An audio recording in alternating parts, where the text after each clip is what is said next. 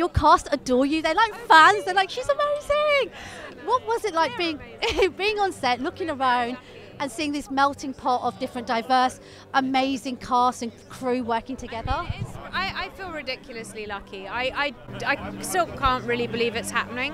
It took really long time, and so many times I kind of thought I would give up on this project, and it was it was actually thanks to a friend of mine who's a screenwriter who just encouraged me to keep going. And then we just as we thought we got there, then COVID struck, and then there was an you know so it feels miraculous to be here. I feel very fortunate. Bye. Bye. Bye. Ah, alaikum salam, Auntie Aisha. What? You still can't say it. Assalamu alaikum, Aisha. There you go. Oh, that's exactly what I just said. I recently um, was on holiday and I read Harry's book, which I adored, and it made me think about your relationship with Diana.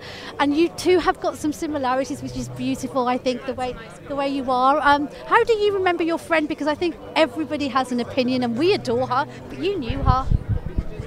I got to know her in Pakistan, weirdly. Like the, the time that we spent most intensely and privately was when she came to stay a couple of times in Pakistan. And of course, the whole country fell in love with her.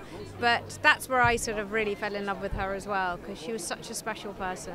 I know with The Crown, you recently said that you didn't really want to be involved in the last season. I think a lot of people are feeling very conflicted with it.